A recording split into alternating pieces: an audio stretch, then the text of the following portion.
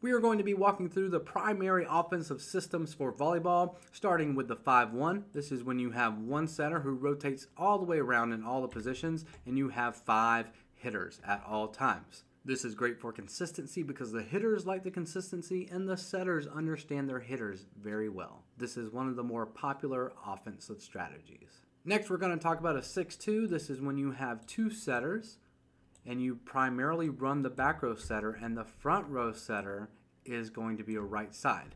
So when this right side rotates to the back row, they are now the setter. And when this back row setter rotates to the front row, they are now the right side.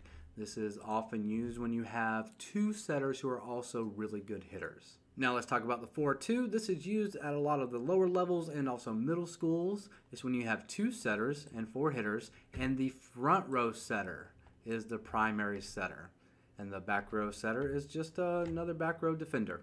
When the back row setter rotates to the front row, they are now the setter, and when the front row setter rotates to the back row, they are just another defensive player. Now let's talk about a 6-6. This is often used in rec leagues, and it's when everyone hits and everyone sets, the setter will always be in the right front, and whoever rotates in the right front is the setter. So when this person rotates around to the right front, they are now the setter, and everyone else is always the hitters. Everyone sets, everyone hits. Now let's talk about a different variation of a 5-1, sometimes called a modified 5-1. I call it a 5-2.